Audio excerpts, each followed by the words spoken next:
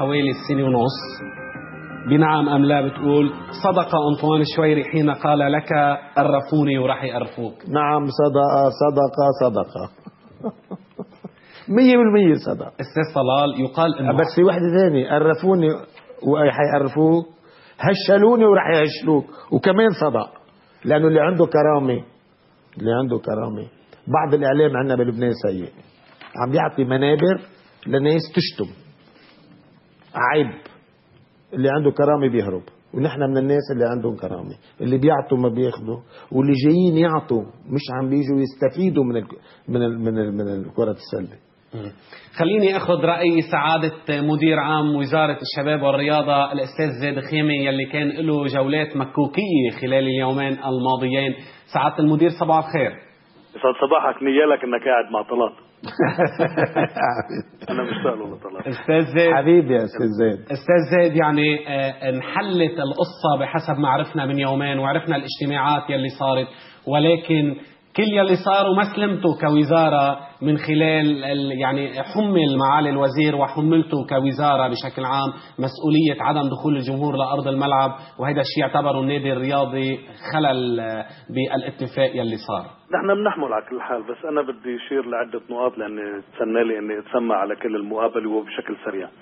أولا فيما يخص الجمعيات العمومية لكل الاتحادات أنا مع الأستاذ طلال المقدسي 100% لأنه الجمعيات العمومية هي اللي بتنتج إدارة الاتحادات والجمعيات العمومية فيها خلل وعمال تتم بتسويات وباتفاقات وبصفقات وإلى آخره، لذلك أنا مع هذا الكلام، أما الموضوع الثاني موضوع عدد أعضاء الاتحاد يعني 15 عن جد شيء مش معقول إنه كيف بدهم يجتمعوا وكيف بدهم يلتقوا وكيف بدهم ياخذوا قرارات. فهذا أمر كمان منه مقبول. هذا ببين إنه في إدارة خاطئة. إدارة اللعبة كاتحاد بلبنان إدارة بتنظم مباريات إدارة خاطئة ما عندها رؤية ما عندها خطة ما عندها منهجية ما عندها برنامج ما عندها سياسة بكل أسف. يعني أنا هون مش عمال بقول إني أنا متضامن أو أنا مع الاتحاد. أنا مسؤوليتي إني أرعى الاتحادات ومسؤوليتي إني صوبها ووجهها كوزارة. بس أنا حقيقة لي موقف من هذا الموضوع. آه لابد من العلاج. برأيي أنه المرسوم 213 تم تعديله والآن بمجلس شورى الدولي اللي هو بيعالج موضوع الجمعيات العمومية وعدد أعضاء الهيئات الإدارية في الاتحادات. هذا بقول بشكل سريع. حبيت رد عليهم وأكيد رح نتشاور مع الأستاذ طلال إذا كان في أي أمر آه، وأكيد بنستفيد منه لحتى كمان نستفيد منه أكثر. أستاذ زيد بس بموضوع النادي الرياضي. إيه رح روح رح روح على النادي الرياضي. آه نحن خدنا معك. آه خلي لي إياك طول عمرك. اولا آه قبل المباراة آه بيوم يعني بعد مباراة أنيبال مباشرة وبعد توقيف اللاعب وبعد اتخاذ قرار بنقل المباراة إلى اجتمعتوا صار اللي صار وتم الاتفاق. صدر عدة تصريحات حتى إنه أحد العناوين الرئيسية لإحدى الصحف المهمة بالبلد كتبت بالعنوان العريض إننا نستحضر بوسطة عين الرماني إذا حدا شافها منكم كان الجو كثير مشحون كان على الأرض في جو كثير ضاغط. فتدخلت الوزارة إيمانا منها بأنه لا يمكن أن تقبل بأنه هذا الوضع يكون. تدخلت الوزارة ولقت الية للحل نقاط الثلاثة اللي انحكى فيهم هي اولا إلغاء العقوبة عن اللاعب آه، اثنين تأجيل المباراة إلى موعد آخر ثلاثة عودة المباراة إلى آه، المنارة. موضوع الجمهور ما بحث ترك بعهدة معالي الوزير كي يبحث هذا الموضوع مع الجهات الأمنية بالتشاور معها. بعد التشاور تبين أنه آه، بالتشاور تبين أنه ما في آه، حقيقة في في إمكانية. إذا ما بيكون في جمهور بيكون أفضل. أنا بتقديري كل شيء انبحث بالوزارة فيما يتعلق بإنقاذ اللعبة وبإقامة المباراة. إلا أمر واحد ما انبحث هو نتيجة المباراة بكل أسف. يعني أنه كان مطلوب أنه كمان نبحث بنتيجة المباراة. أنا بتقديري أنه معالي الوزير فيصل كرامي جعل النادي ينتصر على الاتحاد. وبكل صراحة كمان أيضا جعل الموقف للنادي الرياضي وما يمثل النادي الرياضي أن ينتصر على موقف آخر. بكل أسف عم اللي بحكي. طبعا كنا مقتنعين لأنه نحن بدنا نمنع الفتنة بالنهاية وبدنا ننقذ ما تبقى من اللعبه على أن تقام المباراة. أما أن يوجه التهم والسهام لنا بتقديري إنه هذه تغطية بكل صراحة تغطية لعدم إقامة المباراة لأنه أنا بتقديري أنه كان في أسباب أخرى تمنع قيام المباراة وقد تكون الأسباب فنية. إنما مثل ما قال الأستاذ طلال ربما موضوع الجمهور كان حجة لعدم قيام المباراة. إنما بكل صراحة بقول نحن عنا أي كل الرياضة بلبنان ما بتساوي نقطة دم. كل الرياضة بلبنان. وموقفنا كان كثير واضح وصريح. وبتقديري أنه الوزارة تعرضت للطعن وتعرضت للغدر لأنه ما قامت به الوزارة هو آخر ما يمكن أن نقوم به.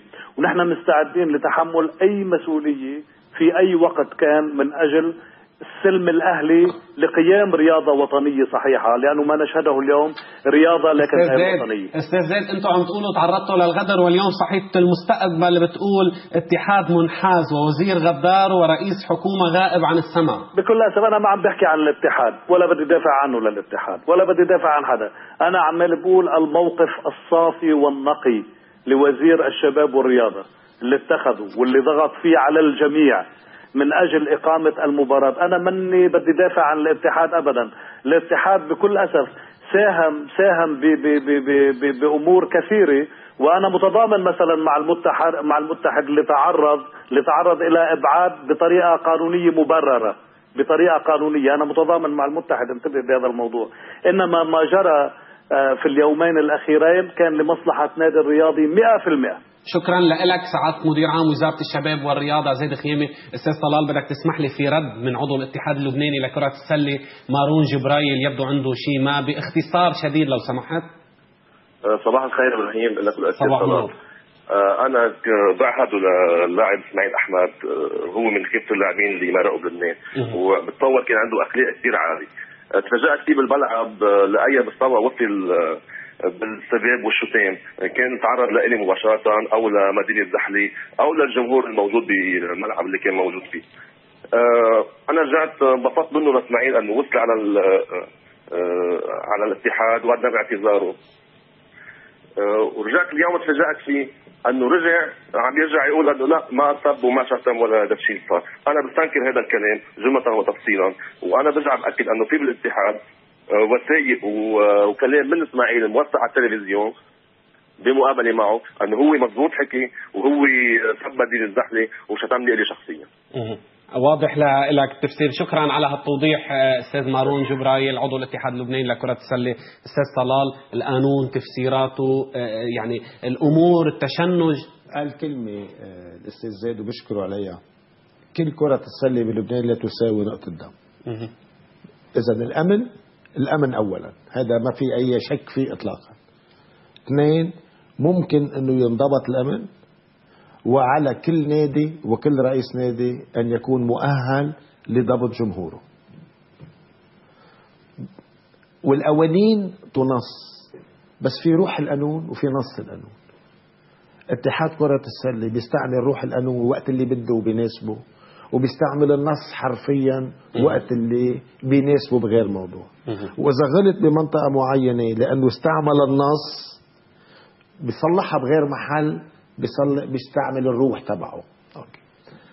اليوم آن الأوان لإنقاذ كرة السلة وكان كتير واضح الأستاذ زيد الخيمي وبشكره على وضوحه إنه المشكلة في الجمعيات العمومية المشكلة بتحرير أندية كرة السلة من المتمول الفرد وتأمين مداخيل لها ولا يمكن تأمين المداخيل إلا بتأمين التغطية الإعلامية لها والتغطية التلفزيونية لها ليصير عندها سبونسرز وتحريرها من السياسة والسياسيين.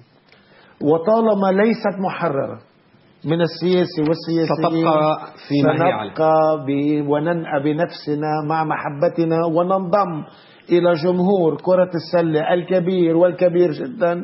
الذي يشاهدها ويشارك بها من على شاشة التلفزيون. في عندي تقرير عن نادي الحكمة اللي بدنا نعطي حقه كيف خرج من بطولة لبنان لل Final Four وكيف وصل لشونفيل تقرير مفصل ومنتابع طريق الحلم اللي عم يسعى لتحقيقه أول مرة من 25 سنة من تاريخ تأسيسه عام 1987 بيأمل فريق شونفيل أنه تكون الخطوة الأولى ناجحة بنهائي موسم 2011-2012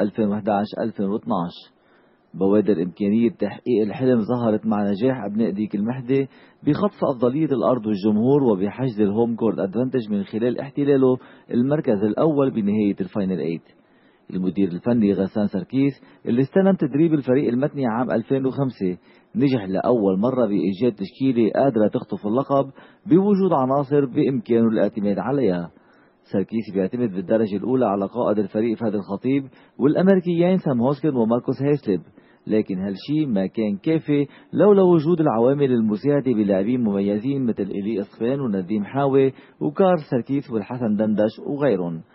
أما أنيبال اللي بعده عم بيكمل المشوار وعلى الرغم من انسحاب الرياضي إلا أنه بيستاهل الوصول للنهائي لأنه الفريق الوحيد اللي هز عرش الرياضي والشونفيل بجدارة. أنيبال اللي تأسس عام 1950 واللي دايما كان يعاني من مشاكل مادية على الرغم من عراقته. انفتحت له أبواب جنة المنافسة بوجود الممول بديع العبسي اللي وعد بإيصال الفريق لمرحلة المنافسة بالموسم المقبل ووفى بوعده قبل وقته. الفريق الزحلاوي مع المدرب الصربي ميودراك بيريزيتش كان بدأ مفاجآته بإحراز لقب دورة دبي وبيأمل بإحراز اللقب المحلي مع مجموعة لاعبين مميزين مثل غالب رضا ورودريك عقل ومازن منيمنة وشارل ثابت ورئيس ميحة وأجنبيين سوبر مثل جاي يونغبلاد ولوروي هيرد. أولى مباريات النهائي بتنطلق اليوم على ملعب الشونفيل بديك المحدي على أمل أنه تكون المباريات مثالية بالتشجيع الحضاري والتحكيم المميز والأداء الفني الرفيع ليكون بيليق بسمعة كرة السلة اللبنانية العالمية اللي خف وهجة بآخر سنتين.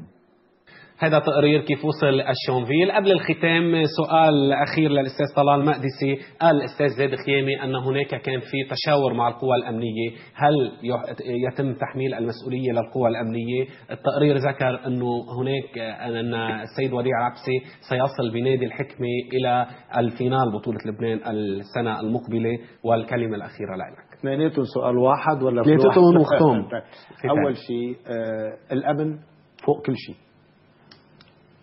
وإذا نحن ما بنقدر نأمن الأمن بحضور 200 متفرج بملعب كرة السلة عمليه خطرة. اثنين بالنسبة لوديع العبسي وديع العبسي عم يدعم أندية رياضية ومشكور. بس إذا بده يوصل نادي الحكمة بأي صفة ليس عضو بالجمعيه العمومية وليس عضو بنادي الحكمة. هلا بدعم نادي الحكمة أهلا وسهلا فيه بالعكس. فعل خير. نحن, نحن بالعكس. بالعكس. بس ما لازم انسان ياخذ آه، مبادرات وإعلامية نيابه عن فريق يعني أنا الممول الرئيسي لنادي الحكمة 50% وما حكيت الكلمة ولا يمكن اني اكلمها لأنه بنادي الحكمة في رئيس للنادي وفي لجنة إدارية وبتأمل منها هي تأخذ قرارات. شكرا. أنا بدي أتشكرك أستاذ طلال مقدسي إن شاء الله بيكون لنا لقاءات ثانية معك على هالحلقة اليوم الغنية يلي كانت آه، بفقراتها وباتصالاتها. شكرا لكل المتابعين. الإعادة يوم الثلاثاء بعد نشرة الأخبار الليلية وبكرة مع كرة القدم اللبنانية ببرنامج اوفسايد